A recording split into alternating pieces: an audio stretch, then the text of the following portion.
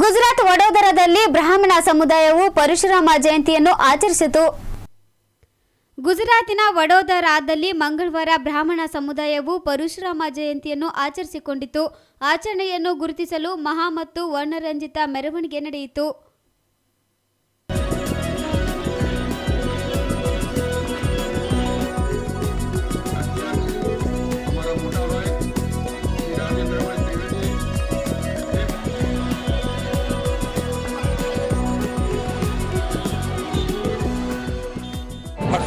भगवान का जन्मदिन है। ब्राह्मणों, जिनके वंशज कहे जाते हैं, परशुराम के वंशज कहे जाते हैं, ब्राह्मणों में एक अदम्य उत्साह है। पूरे देश में ब्राह्मणों द्वारा हर जगह पे परशुराम जी का जन्मदिन विविध कार्यक्रमों के द्वारा सेलिब्रेट किया जाता है। बड़ौदा शहर में सालों से शोभा यात्रा के रूप में ये जन्मदिन मनाया जाता है।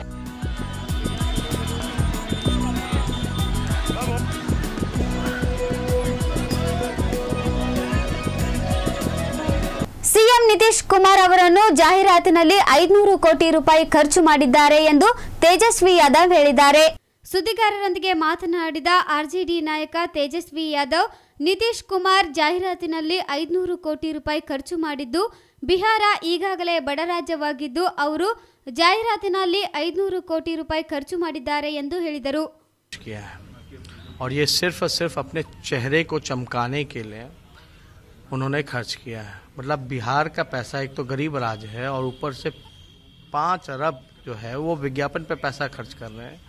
यानी आप कहिए कि फेशियल ब्लीच सब करा रहे हैं अपने चेहरे को लेकर के, लेकिन फिर भी पाँच सौ करोड़ रुपए खर्च करने के बाद भी, पाँच अरब करने के बाद भी उनका फेशियल ब्लीचिंग वो कोई काम नहीं आ रहा। उनकी क्रेडिबिलिटी चली गई है। ये तो देखिए कि उनको जवाब देना चाहिए। कि इतना इतना पैसा गरीब राज अगर विज्ञापन में पैसा खर्च करेगा सिर्फ़ और सिर्फ़ उनके चेहरे को चमकाने के लिए तो ये कहाँ से जायज़ है? तो ये जनता जो है वो बताने का काम करेगी जवाब देने का काम विशेष राज की भी बात की जा रही है कि अगर सरकार आएगी तो विशेष राज्य फिर से एक बार उठाया जाएगा। अब तक कहाँ थे? विशेष राज के दर्जे को लेकर के पाँच साल बीत गया और अब तक भी बिहार को विशेष राज का दर्जा नहीं मिला। कहीं मांग नहीं की। है तो ये देखिए हमारे चाचा जो हैं भूमिका तय कर रहे हैं। पहले जो है ये वोट मांगा करते थे अपने चेहरे पर। अब वोट मांग रहे पुलवामा पर, अब वोट मांग रहे मोदी जी के नाम पर, अब वोट मांग रहे भारतीय सेना के नाम पर। तो इनका तो चेहरे का चमक खत्म हो गया। अब पूरा ठेकरा जो है, मोदी जी के सर पे फोड़ना चाहते हैं। क्योंकि ये जान रहे हैं कि परिणाम क्या आने वाला है, इसलिए पूरा ठेकरा जो है मोदी जी के सर पे ನಮ್ಮ ಶಾಸಕರು ಅಭಿಮಾನದಿಂದ ನಾನು ಸಿಎಂ ಆಗಬೇಕು ಎಂದು ತಮ್ಮ ಅಭಿಪ್ರಾಯ ಹೇಳುತ್ತಾರೆ. ಅವರು ಹೇಳಿದ ಹಾಗೆ ಹೇಗಾಗುತ್ತೆ? ಇವಾಗ ಕುರ್ಚಿ ಖಾಲಿ ಇಲ್ಲವಲ್ಲ ಎಂದು ಮಾಜಿ ಸಿಎಂ ಸಿದ್ದರಾಮಯ್ಯ ಹೇಳಿದರು. ಹುಬ್ಬಳ್ಳಿ ನಗರದ ವಿಮಾನ ನಿಲ್ದಾಣದಲ್ಲಿ ಮಾತನಾಡಿದ ಅವರು ಕುಮಾರಸ್ವಾಮಿ ಒಳ್ಳೆಯ ಕೆಲಸ ಮಾಡುತ್ತಿದ್ದಾರೆ. ಬಿಜೆಪಿಯವರ ಅಧಿಕಾರಾವಧಿಯಲ್ಲಿ ಮೂರು ಜನ ಸಿಎಂ ಆಗಿದ್ರು. ಭ್ರಷ್ಟಾಚಾರ ಮಾಡಿದ ಆರು ಮಂತ್ರಿಗಳು ಜೈಲಿಗೆ ಹೋಗಿದ್ರು. ಅಂತವರಿಗೆ ಯಾಕೆ ಜನ ಮತ ಕೊಡ್ತಾರೆ? ಅವರು ಬೈ ಎಲೆಕ್ಷನ್ ಗೆಲ್ತಾರ ಅವರು. ನಾವು ಕುಂದಗೋಳ ಹಾಗೂ ಚಿಂಚೋಳಿ ಗೆಲ್ತೀವಿ. ಆದ್ರೆ ಅವರು ಗೆಲ್ಲುತ್ತಾರಾ ಎಂದು ಪ್ರಶ್ನಿಸಿದ್ರು. ಅವರ ಕತೆ ಏನಾಗುತ್ತೆ ಅಂತ ಬೈ ಎಲೆಕ್ಷನ್ ನಂತರ ನೋಡಿ ಎಂದರು. ರಮೇಶ್ ಜಾರಕಿಹೊಳಿಗೆ ಸಚಿವ ಸ್ಥಾನ ಕಸಿದುಕೊಂಡಿದ್ದು ತಪ್ಪು ಎಂದು ಬಸವರಾಜ್ ಹೊರಟ್ಟಿ ಹೇಳಿಕೆಗೆ ಪ್ರತಿಕ್ರಿಯಿಸಿದ ಅವರು, ಹೊರಟ್ಟಿ ನಮ್ಮ ಪಕ್ಷದ ಬಗ್ಗೆ ಮಾತನಾಡದೇ ಇರೋದು ಒಳ್ಳೆಯದು ಎಂದು ಪರೋಕ್ಷವಾಗಿ ಎಚ್ಚರಿಕೆ ನೀಡಿದರು.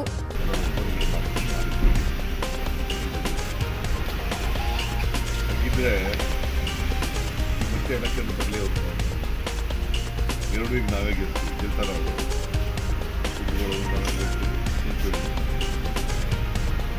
ಬೈ ಎಲೆಕ್ಷನ್ ಏನಾಯ್ತು ಮತ್ತೆ ಬಳ್ಳಾರಿನಲ್ಲಿ ಜಲಪೇಟೆಯಲ್ಲಿ ರಾಮನಗರದಲ್ಲಿ ಮಂಡ್ಯದಲ್ಲಿ ಶಿವಮೊಗ್ಗದಲ್ಲಿ ಏನಾಯ್ತು ಜನ ಇವರಿಗೆ ಅಧಿಕಾರ ಬಟ್ಟೆ ಕೊಡಲ್ಲ ಸರ್ ಈಗ ರಮೇಶ್ ಜಾರಕಿಹೊಳಿ ಅವರು ಹೇಳ್ತಾರೆ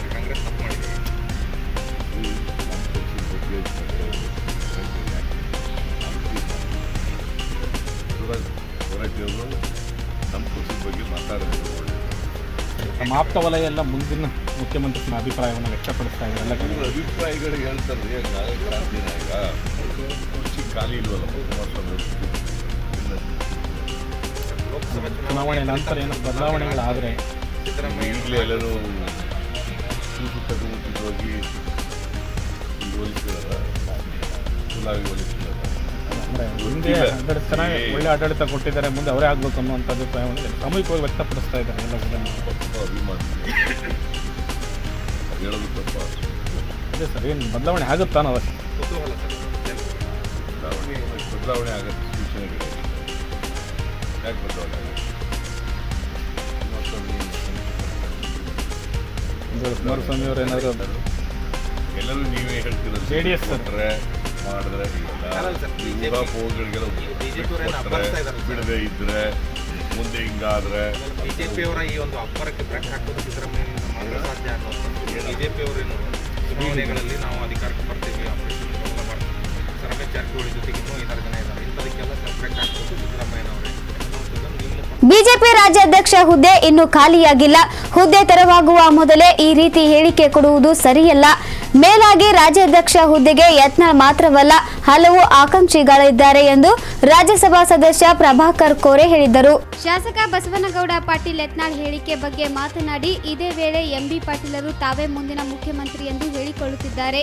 ಹಾಗಾಗಿ ಅವರು ಬಿಜೆಪಿಗೆ ಬಂದು ಮಾಡುವುದೇನಿದೆ ಯಡಿಯೂರಪ್ಪ ಆರೋಗ್ಯವಾಗಿಯೇ ಇದ್ದಾರೆ. ಎಂಬಿ ಪಾಟೀಲರು ಬಿಜೆಪಿಗೆ ಬಂದರೂ ಅವರಿಗೆ ಇಲ್ಲಿ ಮುಖ್ಯಮಂತ್ರಿ ಹುದ್ದೆ ಸಿಗೋದಿಲ್ಲ. ಎಂಬಿ ಪಾಟೀಲರನ್ನು ಬಿಜೆಪಿಗೆ ಆಹ್ವಾನಿಸುವುದಾಗಿ ಹೇಳಿದ್ದ ಯತ್ನಾಳ್ಗೆ ಪ್ರಭಾಕರ್ ಕೋರೆ ಟಾಂಗ್ ನೀಡಿದ್ದಾರೆ. ಮಾಡಿದ್ದಾರೆ ಸರ್. ಬಟ್ ವೇಕೆನ್ಸಿ ಇಲ್ಲಲ್ಲ. ಪೋಸ್ಟ್ ಆಡ್ರು ತಾವೇ ಯಡಿಯೂರಪ್ಪನವ್ರು ಉತ್ತರಾಧಿಕಾರಿ ಅಂತ ಹೇಳಿದ್ದಾರೆ. ಅಲ್ಲ ಬರೀ ಬಸವರಾಜ್ ಯತ್ನಾಳ್ ಅವ್ರು ಅಷ್ಟೇ ಹೇಳಿಲ್ಲ. ಬಹಳ ಜನ ಹೇಳ್ತಾ ಇದ್ದಾರೆ ಬಟ್ ವೇಕೆಂಟ್ ಇಲ್ಲದ ಪೋಸ್ಟ್ ಇನ್ನೂ ವೇಕೆಂಟ್ ಆಗೇ ಇಲ್ಲ. ಬಟ್ ಅಧ್ಯಕ್ಷ ನಿರ್ಣಯವು ದೇಶದ ಅಧ್ಯಕ್ಷ ನಿರ್ಣಯ ಮಾಡ್ತಾರೆ ಸುಮ್ಮನೆ ಇದನ್ನ ಎಪ್ಸೋದು ಮಾತಾಡೋದು ಸರಿಯಲ್ಲ. ಸರ್ ಆದ್ರೂ ಈಗ ರಾಜ್ಯಾಧ್ಯಕ್ಷ ಹುದ್ದೆ ಬದಲಾವಣೆ ಆಗುತ್ತೆ. ಲೋಕಸಭಾ ಚುನಾವಣೆ ಫಲಿತಾಂಶದ ನಂತರ ಅಂತ ಹೇಳಲಾಗ್ತಾ ಇದೆ. ಆ ಥರ ಒಂದು ವೇಳೆ ಬದಲಾವಣೆ ಆಗುತ್ತೆ ಅನ್ನೋದಾದ್ರೆ ಯಾರಿಗೆ ಅದು ಕೊಟ್ಟರೆ ಸೂಕ್ತ ಅಲ್ಲ ಬದಲಾವಣೆ ಆದ್ಮೇಲೆ ವಿಚಾರ ಮಾಡೋಣ. ಇವತ್ತು ಯಾಕೆ ಅದನ್ನ ವಿಚಾರ ಮಾಡಬೇಕು. ಜೊತೆಗೆ ಎಂ ಎಂ ಬಿ ಪಾಟೀಲ್ರನ್ನ ಕೂಡ ತಾವು ಬಿಜೆಪಿಗೆ ಆಹ್ವಾನ ಮಾಡ್ತೀವಿ ಅಂತ ಯತ್ನಾಳ್ರು ಹೇಳಿದ್ದಾರೆ ಸರ್. ಎಂ ಬಿ ಪಾಟೀಲ್ರನ್ನ ಆಹ್ವಾನ ಮಾಡೋದು ಸೂಕ್ತನ ಹೇಗೆ ನಂಗೆ ಗೊತ್ತಿಲ್ಲ ಬಟ್ ಅವರಲ್ಲಿ ಮುಖ್ಯಮಂತ್ರಿ ಅಂತ ಅನೌನ್ಸ್ ಮಾಡ್ತಾ ಇದ್ದಾರೆ ಇಲ್ಲಿ ಬರ್ತಾರೆ ಇಲ್ಲಿಗೆ ಬಂದರೆ ಅವರಿಗೆ ಮುಖ್ಯಮಂತ್ರಿ ಸ್ಥಾನ ಬಿಟ್ಟು ಉಳಿದಿದ್ದಲ್ಲ. ಬಹಳ ಜನ ಇದ್ದಾರೆ ಇಲ್ಲಿ. ಯಡಿಯೂರಪ್ಪ ಅವರು ಸ್ವತಃ ಇನ್ನೂ ಅವ್ರು ಎಲ್ಲಿ ಸರಿ. ಸರ್ ಪ್ರಶ್ನೆ ಇಲ್ಲಲ್ಲ ಹಾಗಾದ್ರೆ ಬಿಜೆಪಿ ರಾಜ್ಯಾಧ್ಯಕ್ಷ ಸ್ಥಾನದ ಹೇಗೆ ಸರ್? ತಾವು ಕೂಡ ಏನಾದ್ರು ಆಕಾಂಕ್ಷಿನ ಸರ್? ವೆಂಕಟ್ ಆದ್ಮೇಲೆ ಖಾಲಿ ಆದ್ಮೇಲೆ ನೋಡೋಣ ಆಮೇಲೆ ವಿಚಾರ ಮಾಡೋಣ. ಚಿಂಚೋಳಿ ವಿಧಾನಸಭಾ ಕ್ಷೇತ್ರದ ಉಪಚುನಾವಣೆಯ ಪ್ರಚಾರ ಮಧ್ಯೆಯೂ ಬಿಜೆಪಿ ಅಭ್ಯರ್ಥಿ ಡಾಕ್ಟರ್ ಅವಿನಾಶ್ ಜಾಧವ್ ಇಂದು ಎಂಡಿ ಪರೀಕ್ಷೆ ಬರೆದಿದ್ದಾರೆ. ಪ್ರಚಾರ ಮೊಟಕುಗೊಳಿಸಿ ನಗರದ ಎಂಆರ್ಎಂಸಿ ಮೆಡಿಕಲ್ ಕಾಲೇಜಿಗೆ ಡಾಕ್ಟರ್ ಅವಿನಾಶ್ ಜಾಧವ್ ಪರೀಕ್ಷೆ ಬರೆಯಲು ಬೆಳಿಗ್ಗೆ ಬಂದು ಪರೀಕ್ಷೆ ಬರೆದಿದ್ದಾರೆ. ಕಲಬುರಗಿ ನಗರದ ಕೆಬಿಎನ್ ಮೆಡಿಕಲ್ ಕಾಲೇಜಿನಲ್ಲಿ ಅವಿನಾಶ್ ಜಾಧವ್ ಪ್ರಥಮ ವರ್ಷದ ಎಂಡಿ ಓದುತ್ತಿದ್ದಾರೆ. ಚಿಂಚೋಳಿ ವಿಧಾನಸಭಾ ಕ್ಷೇತ್ರದ ಉಪಚುನಾವಣೆಯಲ್ಲಿ ಬಿಜೆಪಿ ಅಭ್ಯರ್ಥಿಯಾಗಿ ಡಾಕ್ಟರ್ ಅವಿನಾಶ್ ಜಾಧವ್ ಸ್ಪರ್ಧೆ ಮಾಡುತ್ತಿದ್ದಾರೆ.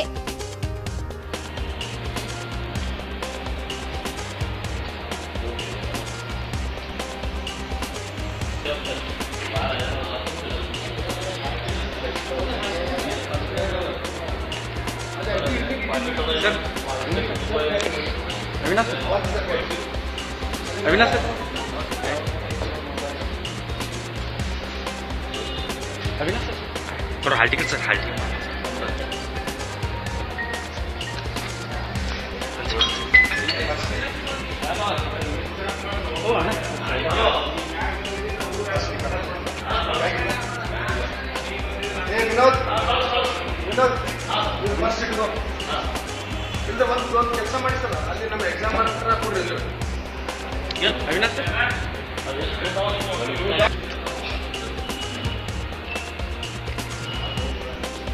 एक मिनट एक मिनट पीछे पीछे पीछे पीछे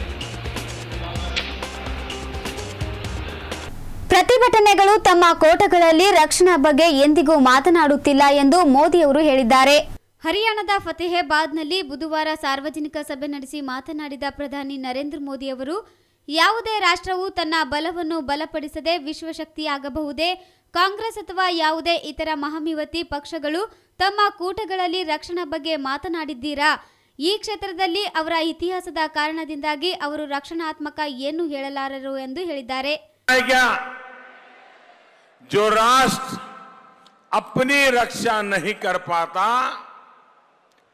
क्या दुनिया उसकी बात सुनेगी क्या? नए भारत की रक्षा नीति क्या हो? कांग्रेस या दूसरे महामिलावटी? अपनी सभाओं में क्या एक बार भी, एक बार भी उन्होंने इस विषय में एक भी बात बताई है क्या? बताई है क्या? भाई और बहनों, ये नहीं बताएँगे, क्योंकि इनका अतीत ऐसा है कि राष्ट्र रक्षा पर ये कुछ नहीं बोल पाते। साथियों 2014 से पहले आए दिन पाकिस्तान हमारे जवानों के साथ बर्बरता करता था, लेकिन केंद्र में बैठी कांग्रेस की सरकार सिर्फ़ और सिर्फ़ बयान देती थी। आए दिन आतंकी हमले होते थे। ಲೇಕಿನ್ ಕಾಂಗ್ರೆಸ್ ಕಿ ಕಮ್ಜೋರ್ ಸರ್ಕಾರ ಇಷ್ಟೊತ್ತು ಸುದ್ದಿ ಕೊಟ್ಟಿದ್ದು ನಾನು ಶಕುಂತಲಾ ಗೌಡ. ಇದಿಷ್ಟು ಈ ಹೊತ್ತಿನ ಸುದ್ದಿಗಳಾಗಿದ್ದವು.